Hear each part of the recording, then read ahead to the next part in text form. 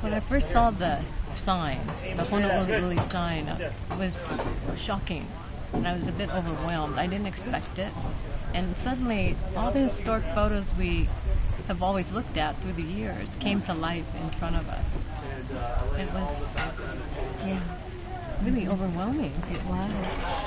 I felt like we were being pushed back into time all of a sudden. You know, we've read the memoirs of um, Mr. Soga or you know, the poetry of former internees, but to be on this site that's been recreated, it really it was so real. It was so real, and their words came alive. Yeah. Yes. Definitely.